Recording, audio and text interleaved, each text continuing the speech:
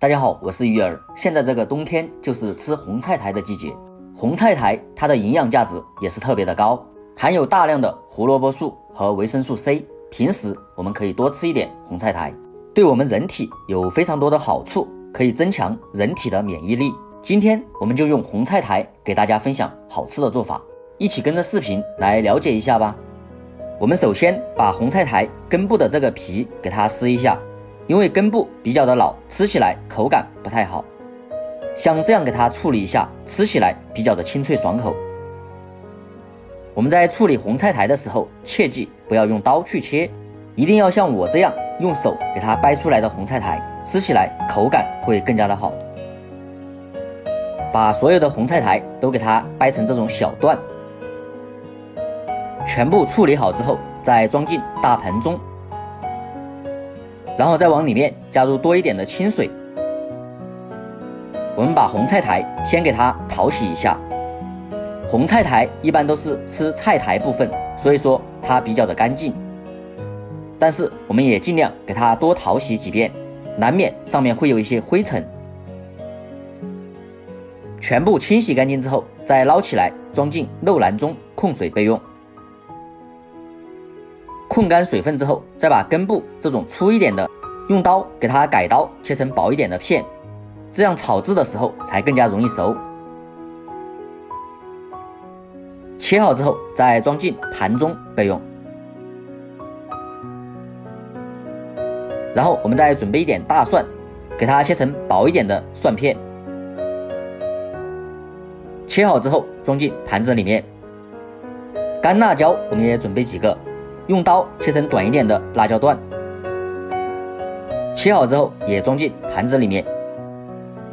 这道菜必不可少的腊肉。腊肥肉就可以改刀切成薄一点的片，切好之后装进盘中备用。接着起油烧锅，油热之后再把腊肉放进来煸炒，把里面的油脂给它煸炒出来。亲爱的朋友们，视频你都看到这里了，制作视频不易，如果我的视频对你有帮助的话，就麻烦动动您发财的小手，帮我点个赞呗，因为您的每一个点赞和留言都是我前进的动力。感谢大家的支持和鼓励，我们给它煸炒成像这个样子就差不多啦。先给它推一边，然后再把蒜片和干辣椒放进来，继续开小火煸炒出辣香和蒜香。炒香之后，再把红菜苔切好的根部倒下来，开大火快速给它翻炒均匀。先把根部给它煸炒一下，这样待会儿成熟度会达到一致。这里煸炒的时间大概三十秒钟就可以了，然后再把剩下的菜苔全部倒进来，继续开大火，快速给它翻炒均匀。用大火炒出来的红菜苔才会更加的好吃，而且也不容易出水。这里用大火翻炒的时间大概一分钟，然后往里面加一点食用盐，鸡精也来一勺，然后用铲子把所有调料给它翻拌均匀。炒这道菜，我们不需要加一滴水，这样炒出来才会更加的香。翻拌均匀之后，我们就可以关火起锅装盘，装入盘中，美味即成。一道非常好吃的腊肉炒红菜苔，咱们就做好了。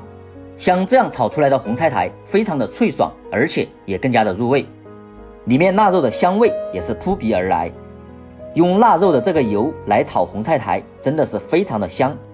而且像这样炒出来的红菜苔一点苦味都没有，真的是非常的爽口又下饭。关键是这个做法也是非常的简单。好了，喜欢的朋友就收藏起来试一试。喜欢我视频的朋友记得帮忙点赞转发出去，感谢大家的支持。今天的视频就分享到这里，咱们下期视频再见。